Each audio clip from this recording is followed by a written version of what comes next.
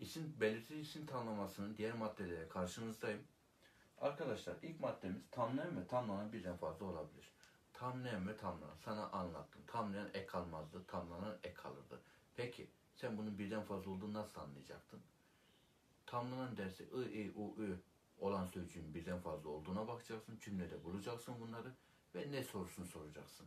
Eğer ki baktın ne sorusunu sorduğunda her birine cevap alıyorsan birden fazla sözcükte o zaman tamlayan e, belirtisinin tanımlaması birden fazladır. Yani ne diyorum?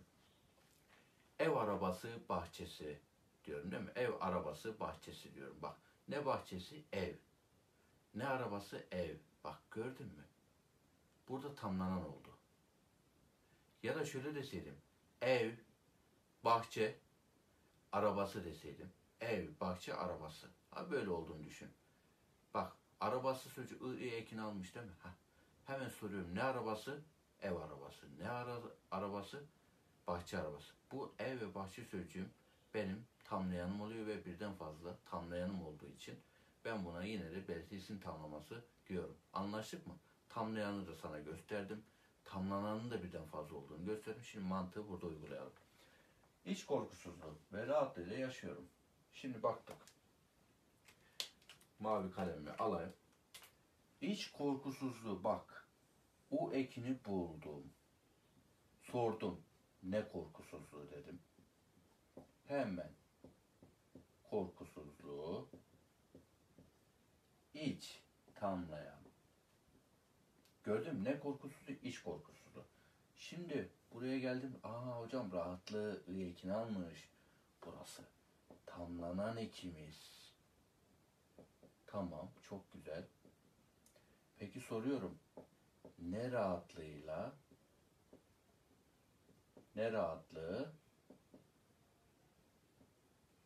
hemen geldim. Şu kısma da ben ne dedim?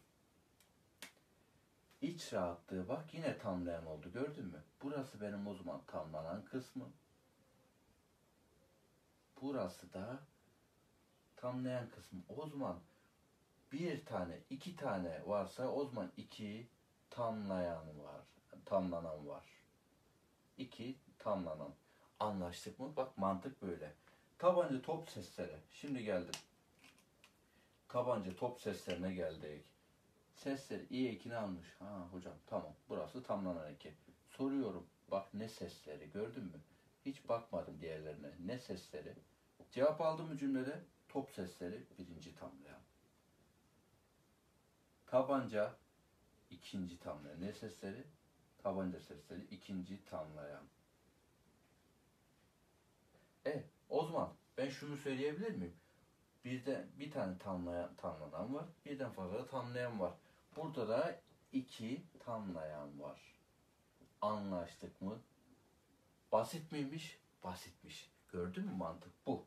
Geldik. Sıfat belirticisinin tamlamasının sadece başına gelir derim. Dikkat.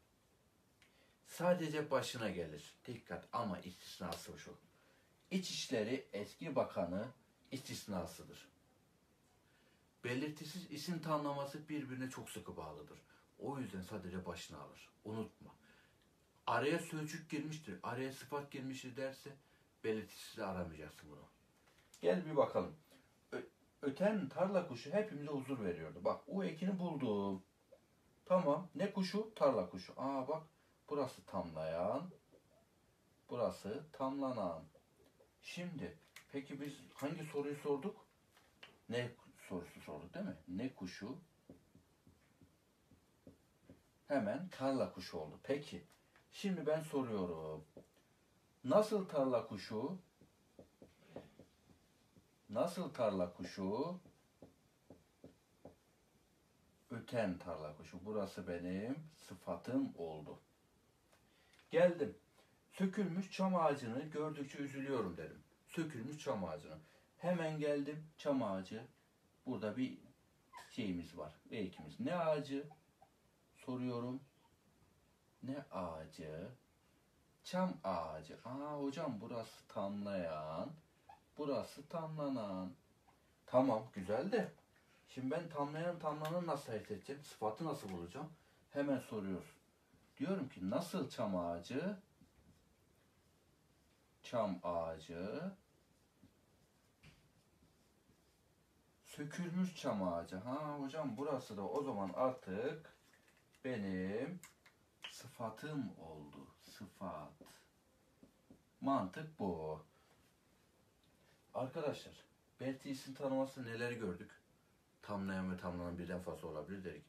Lakin çok önemli bir madde şurası. Sıfat belki isim tanımlasının sadece başına gelir. Aman dikkat. Bak başka bir yerde arama. Unutmuyorsun bunu. Bunlar çok sıkı birbirine bağlı. Peki istisnası hangisi? İçişleri eski bakanı. Bunu da unutmuyorsun güzel kardeşim. Değerli arkadaşlarım, Belirtisinin tanımlamasının ilk iki maddesiyle karşınızdaydım. Müsaadenizle diğer tahtayı silip diğer maddeleri yazmak istiyorum. Kendinize iyi bakın. Allah'a ısmarladık.